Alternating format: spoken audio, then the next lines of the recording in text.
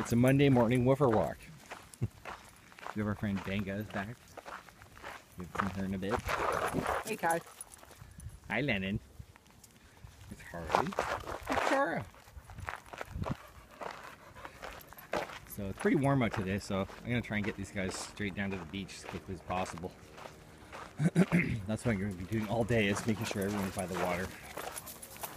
I don't want anybody overheating. We also have a big, uh, big jug of water in the car. Here we have a nice big bowl of water when we get back. It's definitely summer now. Hi, Lennon. Okay, we're gonna go down to the beach.